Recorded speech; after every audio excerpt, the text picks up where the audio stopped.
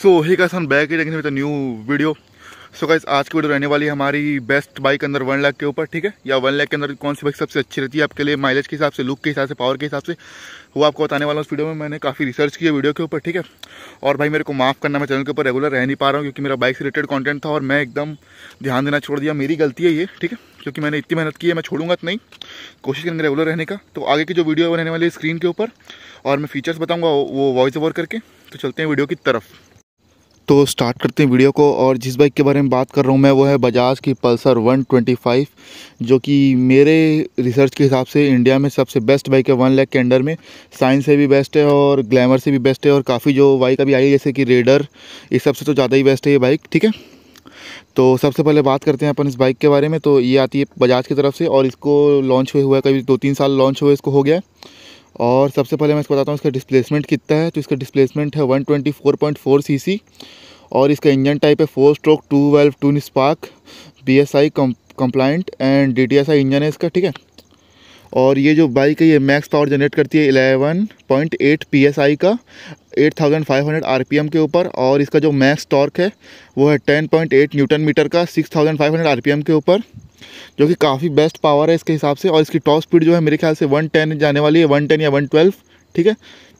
और जो इसका फ्रंट ब्रेक मिलता है, वो मिलता है हमको डिस्क टाइप में और जो रियर ब्रेक है, वो मिलता है ड्रम टाइप में और 125 सीसी के हिसाब से दोनों में डिस्क देना सही नहीं है, ड्रम ही ठीक है। और फंक्शनल भी है तो रियर डिस्क में थोड़ा लफड़ा भी हो जाता है मतलब कि स्किड करने का चांस रहता है, क्योंकि ये बाइक आप ज़्यादातर नॉर्मल सिटी में यूज़ करोगे और सिटी के रोड्स कई बार अच्छे होते हैं, कई बार नहीं होते तो गाड़ी स्किड कर सकती है आपकी।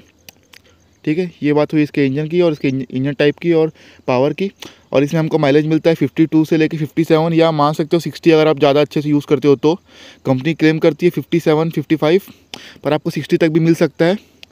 ठीक है और इसमें हमको जो बैक लाइट मिलती है, वो जो क्लासिक पल्सर की आती है एलईडी वाली, वो मिलती है हमको, जो कि काफ़ी अच्छा लुक प्रोवाइड करती है।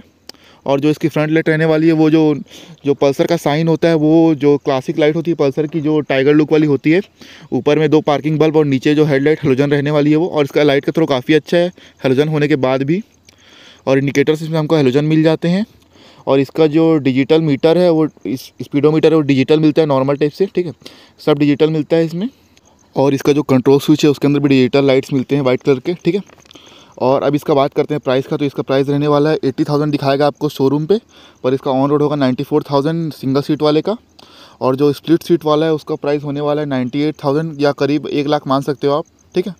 स्प्लिट सीट वाला अगर सही है, अगर आपको थोड़ा सा लुक चाहिए तो वैसे सिंगल सीट वाला भी वेरिएंट काफ़ी अच्छा है इसका, और काफ़ी फंक्शनल है ये बाइक मतलब मेरे ख्याल से काफ़ी अच्छी बाइक है ये, और क्योंकि मैंने इसको पर्सनली यूज़ भी किया क्योंकि मेरे कई फ्रेंड्स के पास है और कई मतलब ऐसे सर्कल में भी है तो मैं काफ़ी यूज़ कर चुका हूँ ये बाइक को और नॉर्मल पल्सर से भी मेरा अच्छा खासा मतलब बोलते हैं ना कि एक्सपीरियंस अच्छा खासा है मैं क्योंकि पल्सर पहले बहुत चलाया हूँ और अभी भी कई बार यूज़ करता हूँ तो मेरे को पता है कि कितनी अच्छी बाइक है ये और बजाज इसमें सबसे बेस्ट थिंग प्रोवाइड करती है कि ये बाइक बहुत रिलायबल रहती है।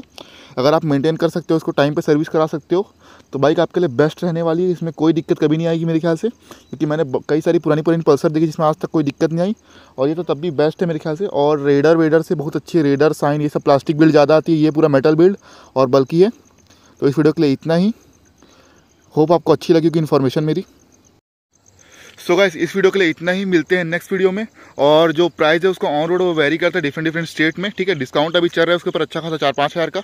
उससे ज़्यादा का भी डिस्काउंट मिल सकता है आपको, ठीक है? अगर कोई बैंक वैंक के कार्ड से देते हो, मेरे ख्याल से तो ठीक है? इस वीडियो के लिए इतना ही। मिलते हैं नेक्स्ट वीडियो तक के लिए bye have a nice day जय Shri Ram. Proud to be Hindu proud to be Indian